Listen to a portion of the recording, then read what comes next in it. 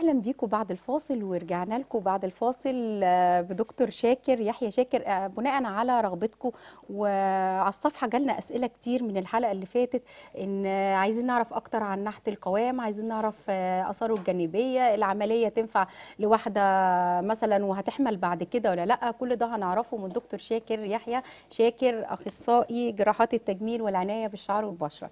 أهلا وسهلا. يا دكتور. من الحلقة اللي فاتت والأسئلة كتير جدا عايزين يعرفوا آه، أكتر. إحنا سريعا هنقول هنعرف تاني آه، نحت القوام. تمام. تمام؟ وهنخش بقى على الأسئلة التانية. إن شاء الله. الحقيقة هو نحت القوام زي ما قلنا المرة اللي فاتت هو عبارة عن إعادة لتوزيع الدهون في الجسم. فإحنا بنبتدي نعمل آه، عملية شفط الدهون من منطقة.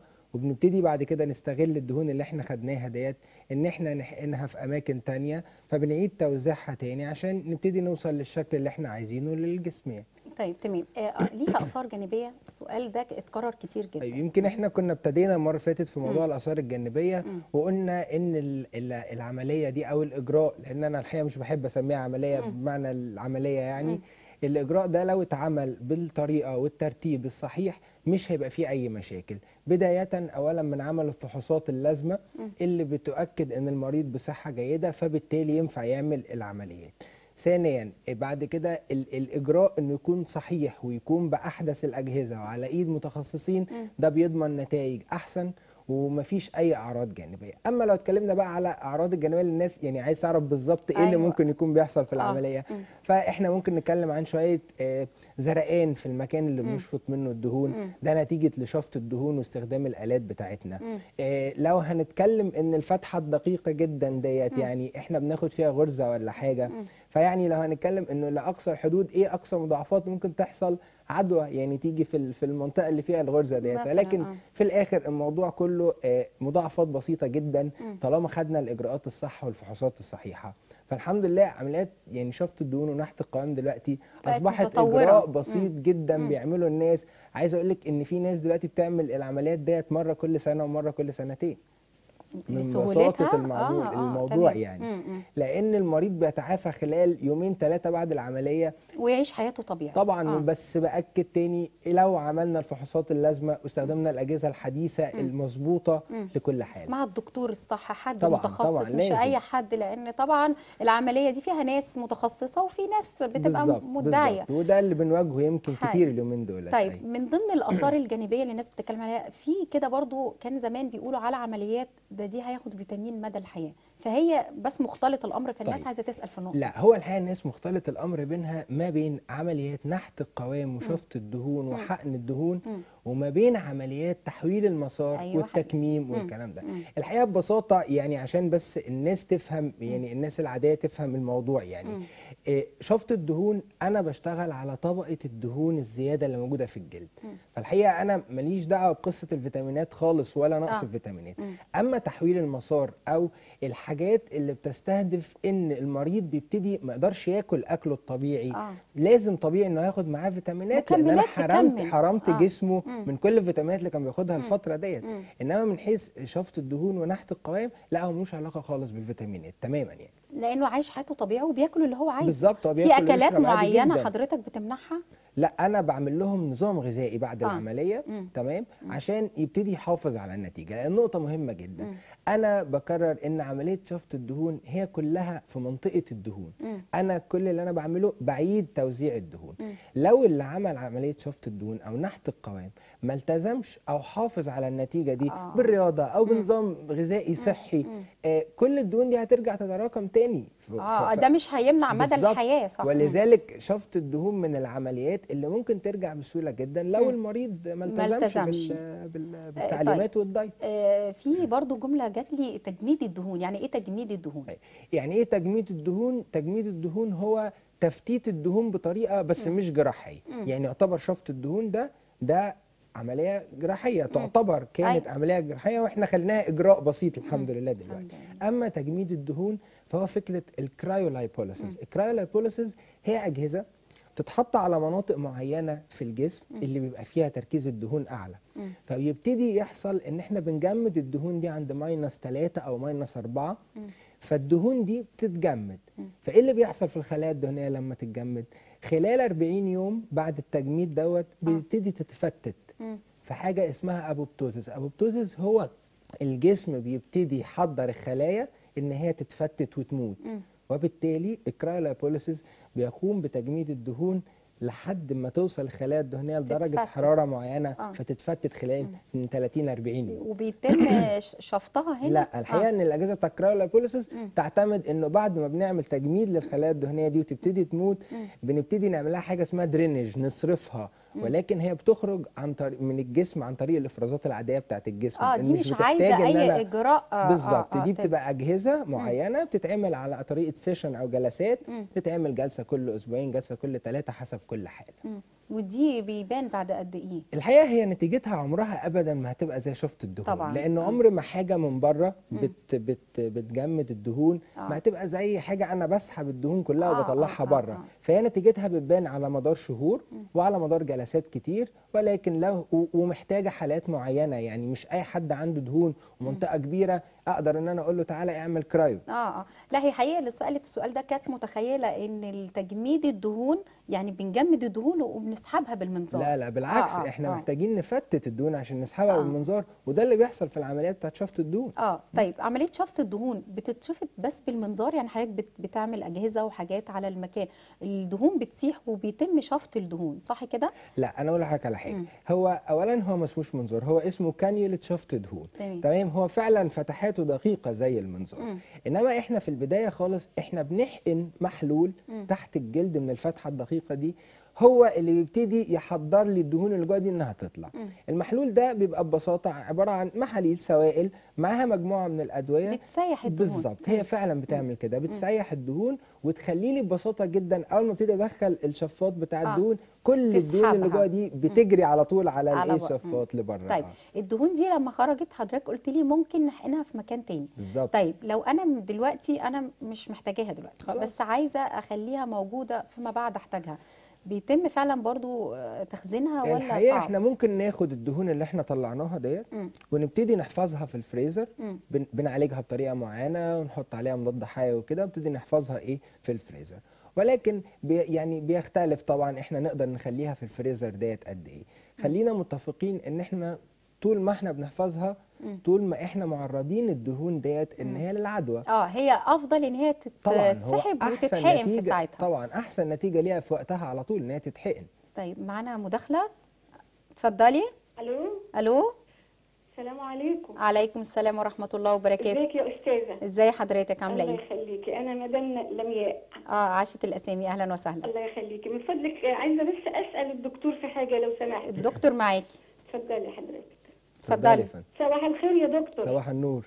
آه لو سمحت يا دكتور بس أنا عندي والله يعني سؤال كده عايزه أسأله لحضرتك وأرجو إنك تطمني. اتفضلي يا فندم اتفضلي. آه من فضلك أنا جسمي كويس ما فيهوش حاجة بس عندي الدهون يعني معظمها متراكمة في منطقة البطن. تمام. فهو وأنا مش عارفة أعمل رجيم يعني. بس كنت عايزة أسأل هو ينفع إن أنا آه، أعمل عملية شفط الدهون دي من البطن من غير رجيم طيب طب يعني حضرتك ليك أي سؤال ليها آه لا آه، يعني حضرتك بس السن كده ممكن أعرف سن حضرتك؟ حضرتك؟ قد إيه؟ آه والله لا أنا كبيرة شوية عندي ربنا 60 يديك سنة. طيب. ربنا يخليكي آه، اسمعينا. اتفضلي.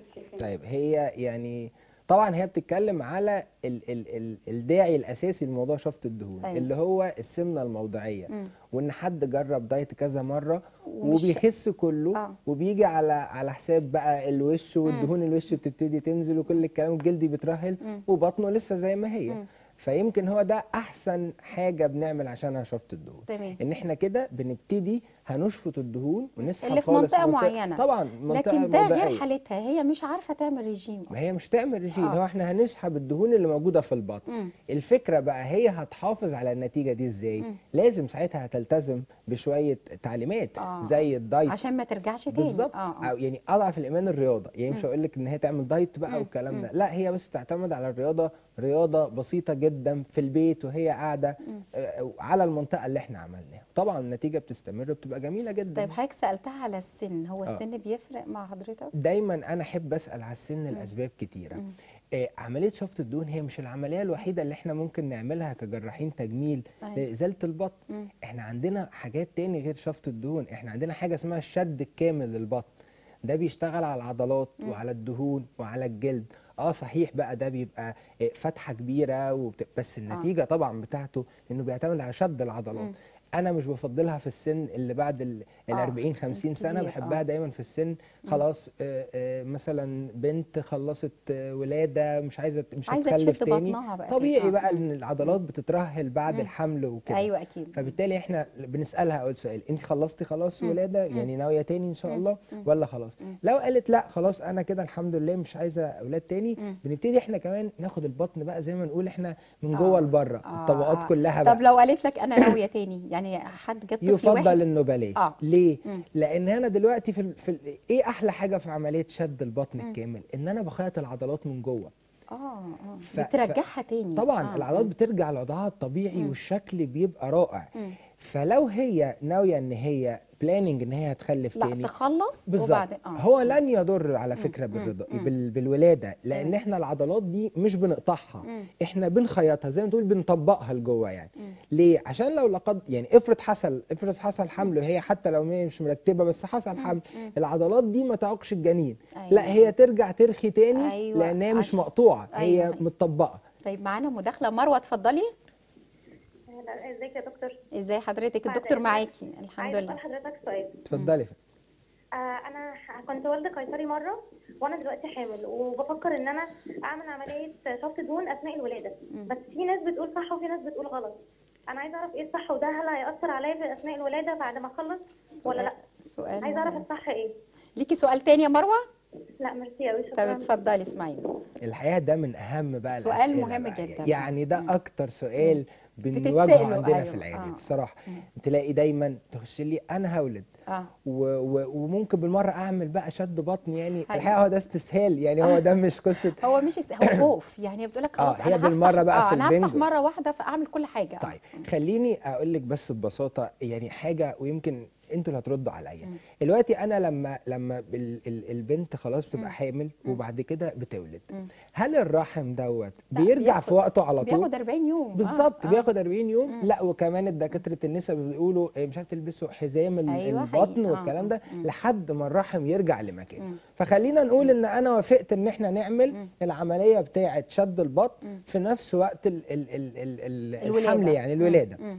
هعمل إيه هشد البطن على الرحم اللي هو الكبير, الكبير. ده فب- طيب مم. هيرجع الرحم يقل هيترهل خلاص مم، مم. طيب أنا أنا صديقتي قالت لي هي عملت حاجة آه شفط دهون تمام مش مش آه، مش شد في وقت العملية في وقت بتاعت الب-. آه مفيش ده مشكلة ممكن. ده ممكن يتعمل آه. عادي جدا وإن كنت أنا مش بفضله عشان حاجات تانية مم. مش مستاهل الموضوع إن أنا مع إجراء بسيط زي شفط الدهون آه. ما يخوفش والناس آه، تعمله خلاص أيوة، دلوقتي. إيه لازم أخلص بالظبط. والرحم يرجع تاني وكل حاجة وبعدين أعمل العملية دي لوحدها. أو الاجراء ده لوحده. ولو هعمل شفط الدهون هي الفكرة شفط الدهون ده في في الدهون مش دعوة بقى بالقصة بتاعت الرحم والكلام ده كله. طيب بس أنا ليه أحط stress على stress يعني أنا في ولادة وتعب الحمل لوحده طبعا. يعني. والقيصرية برضو بالظبط. تعبها أيوه. آه. فيعني إنما هل هو ينفع شفط دهون؟ ينفع شفط دهون ما ينفعش. شد للبطن أثناء ال ال ال ال ال- ال الحمل الولادة. الولادة نفسها آه تمام يعني خلينا بس نفرق عشان الأمور تبقى واضحه. شفط الدهون ده بيشتغل على طبقة الدهون اللي تحت الجلد مم. أما شد البطن الكامل فده بيشد العضلات ويشد ويشيل الدهون وبيشد الجلد انت الزياده عايزة بمقطعه. لما تخلص خالص والرحم يرجع. يستقر في مكانه وبعدين عشان. يتعمل على الوضع الصحيح طيب هي دلوقتي حضرتك بتقول إجراء آه، النحت أو الشفط آه، إجراء بسيط جدا طيب هو مش هيحتاج بقى إن هو يخش إن هو يشد لأن هو بطن كبيرة جدا لما هو شد منها دهون أو شفط منها دهون بقى في ترهلات صحيح. هيحتاج لل للشد بقى وتظبيط العضلات صحيح ولذلك أول حاجة كنت قلت لحضرتك عليها. إن إحنا لازم اللي بيعمل العملية دي يكون مختص ليه لأن هو أهم حاجة في الموضوع دوت. القرار أنا إمتى هقول لل- للمريضة ديت انت محتاجة شفط دهون مم. وامتى أقول لها لا انت مش هينفع معاكي شفط دهون انت محتاجي شد للبطن عشان اشيل الجلد الزيادة. هو ده بقى اللي أنا هقدر اقيمه. آه. بمعنى إيه؟ ان مش معقولة واحدة قبل كده خلفت أربع خمس مرات. وعندها البطن مترهلة جدا جدا جدا. وأنا أقول لها تعملي شفط الدهون. هشيل إيه يعني من البطن؟ هشيل ربع البطن في اللي هو منطقة الدهون ديت. هيبقى عندها جلد مترهل جدا يديها شكل أوحش من قبل العملية. أيوة. يبقى عندها العضلة مأثره جدا على شكل بطنها. نفس الكلام. يجي لي واحد رياضي جدا بيلعب جيم مثلا أو حاجة أديله فترة وجاي لي عايز يعمل شفط دهون عنده المنطقة بتاعت البطن برضه عالية. هل ده أنا لو عملت له شفط دهون هو هيستفيد؟ لا مش لا هيبقى في هيستفيد ترهل. مم. مش كده كمان. هو العضلات بتاعته عنده حاجة اسمها دهون داخلية أو دهو- دهون داخل الأمعاء. دي الحقيقة إحنا مش هنقدر نجيبها بشفط الدهون. فبالتالي القرار بيفرق قوي في العملية ديت. دي نمرة واحد. طيب أنا لو قررت إن أنا واحدة مثلا نقول دهون متوسطة أو خفيفة وأنا هعمل لها شفط دهون. شفط الدهون ده ليه طرق كتيرة جدا. في شفط الدهون ال mechanical أو التقليدي أو العادي خالص اللي إحنا بنعمله. وفي كمان حاجة متقدمة اللي هي ال Vaser. ده دلوقتي غير لنا تماما شكل عمليات الت... ال... شفط؟ الدهون. شفط الدهون العادي كنا بنفتح فتحات دقيقة بكانيولات رفيعة قوي كده اهوت وكنا بنسحب كل الدهون اللي موجودة. بس إحنا كده ما عملناش أي حاجة في الجلد. كنا بنعتمد إن الجلد بيشد إزاي؟ لما المريضة تلبس الكرسي اللي بعد أيوة، العملية هيبتدي يشد. طيب لا في دلوقتي حاجة اسمها فيزر. فيزر هو عبارة عن موجات صوتية وحرارة تبتدي تدخل قبل ما أعمل شفط الدهون ده خالص. فب... يعني, يعني نفس الفتحة آه، الدقيقة دي آه. بدخل آه جهاز. ده الأول. بالظبط. آه، ده آه. ملوش علاقة بالشفط خالص. ده موجات صوتية يفتت لي الدهون البعيدة والدهون اللي أنا مش هوصل لها آه. وفعلا الدهون ساعتها بتطلع كده عاملة زي السائل بالظبط. آه. بس ده ميزته إيه بقى؟ إن الحرارة والموجات الصوتية اللي بتنتج من الجهاز بتاع ال Vaser دوت بيبتدي يشد لي الجلد جامد جدا لأنه بيحفز الكولاجين والحاجات اللي تحت الجلد. فابتدي أول ما ابتدي شفط بلاحظ على طول إن الجلد بي بيرجع بيشد على الإيه؟ على المكان. ودل- وخلاص وبعد كده بلبس الكورسيه. كده. آه من آه. الحرارة والحاجات آه، اللي آه، انتجت. خلته يلزق على ال- المكان. على المكان آه، تحتيه. يبقى اذا آه. عندنا ال mechanical البسيط. ده ملوش علاقة بالجلد كنا بنعتمد على الكورسيه. أما في ال Vaser فلا بقى دلوقتي في حاجة يعني حرارة و ultrasonic waves وكده بتبتدي تشد الجلد على المكان. ثم دلوقتي بقى عندنا كمان حاجة أحدث من كل الكلام ده اسمها J-Plasma. ال J-Plasma دوت عبارة عن حاجة بالظبط عاملة زي المسدس كده من نفس الفتحة الدقيقة دي بنشفط الأول الدهون كلها ثم بنعدي ال- ال J-Plasma دوت تحت الجلد. ده بيعمل شد رائع جدا للجلد. أو اللي الناس يعني معروف يمكن تعرفوا أكتر بحاجة اسمها الشد الأيوني. الشد الأيوني ده دلوقتي هو أحدث حاجة في الموضوع بنقدر نشد بيه الجلد لدرجة إن إحنا ممكن نشد بيه جلد مترهل حتى لو ما فيهوش دهون. كده الناس بقت مستسهلاها يا دكتور طبعا لأن طبعا الموضوع بقى إجراء بسيط آه، وحاجات فتحات. دقيقة ما آه. فيهاش تعب كلها آه، آه، آه، يعني الإعفاء بعد العملية على طول يومين ثلاثة وخلاص. طيب ما شاء الله. طيب آه، من ضمن ال- السؤال برضو جالي حد بيسأل هو ال ال الوجه داخل برضو في ناحية الجسم؟ يعني ممكن حد واحدة رفيعة بس تقولي أنا وشي كبير شوية. آه، بيبقى ممكن ولا بيبقى صعب شوية مفيش حاجة اسمها شفط دهون للوجه مم. يعني الوجه مش من العمليات اللي ينفع نعملها شفط آه دهون هي عند منطقة الرقبة اللي هي بالظبط. اللغد لسه آه، كنت آه. أقول لحضرتك. يعني منطقة الرقبة أو الدبل تشين هي دي المنطقة الوحيدة اللي بنعمل لها شفط للدهون ولكن الحقيقة إن الوجه عامة اولا هم دايما الناس هو تحب يعني آه. تملى الوجه مش مش مش تشفطه لا. هي منطقة اللي هي تحت الوجه اللي آه. تحت. الوجه آه دي ممكن نعمل لها شفط للدهون وطبعا بتبقى ال الكانيولا بتاعتها أو الجهاز بتاعها رفيع جدا عشان هو يا دوبك هيدخل في المنطقة ديت. وفي كمان طرق غير جراحية في ال- في الوجه بقى عامة إن أنا أنحته بمعنى أصح آه. أو أقلل منطقه زي زي الميزوثيرابي بمختلف انواع مجموعة من الأدوية بتعمل تتحقن في المكان على مدار حلو جلسات جدا وبتعمل فرق طبعا لأن الدهون كمية الدهون الموجودة في الوش أصلا صغيرة مش كتير آه. بالظبط مم. فممكن بالجلسات ده تتحسن جدا يعني. طيب بالنسبة للدراع يا دكتور برضو بيبقى الإجراء بتاعه عامل إزاي؟ نفس الطريقة بالظبط هو الموضوع كله ما بيختلف بقاش بقى فاتحة من الكوع للآخر الدراع وكده زي زمان ده اللي هو شد الدراع ده شد ده لكن شد الدراع. الشفط الدهون بالظبط نفس نفس الكلام. الإجراء البسيط. فتحات دقيقة جدا نبتدي ندخل منها الإيه؟ ال- الجهاز بتاعنا ونشفط الدهون. وهو already بي يعني ما بيبقاش فيه ترهل. بي- نفس ال... نفس نفس الحكاية يعني. اما هل... آه. هلبس مم. لازم الكورسيه مم. هعمل بال Vaser هعمل ال J-Plasma اللي قلنا عليه أو الشد الأيوني كل ده هبتدي إيه يعمل على الحاجات اللي في الجسم أماكن في الجسم ممكن حضرتك تقول لا دي مش هتنفع.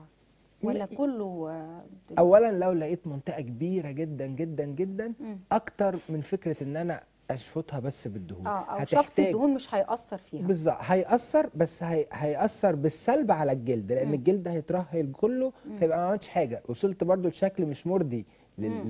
للمريضة يعني. لازم ينزل شوية مثلا بالدايت وبعد كده ولا بيبقى لا نظامها ب... إجراءها إيه؟ ببتدي آخد إجراء تاني مش آه. بعمل عمليات الشفط بقى مم. بعمل عمليات الشد. آه الشد آه. آه. خلينا نفرق بحاجة بسيطة جدا. إيه الفرق بين الشفط وبالشد؟ الجلد. آه الجلد هنا بيتشال بيتقص وبيتاخد غرز زي ما حضرتك كنت بتقولي دلوقتي أيوة. الفتحة الطويلة آه، اللي في آه، الدراع مم. زيها بتبقى فتحة كبيرة في ال في ال في البطن لو هعمل شد البطن زي القيصرية كده. بس بتوصل للجناب. آه، ده ده الفرق بين الشد والشفط آه. بس وده ببساطة. حضرتك اللي بتكرره حسب المريض. طبعا طبعا. آه. آه لازم. أنا اللي أقرر. تمام يا دكتور حضرتك نورتنا. إن شاء الله هيكون. لنا لقاءات تانية لأن لسه في مواضيع كتير كمان عن الشعر والبشرة. إن شاء الله. إن شاء الله لينا لقاءات تانية مع بعض. شكرا لحضرتك. آه إلى اللقاء في حلقة جديدة إن شاء الله.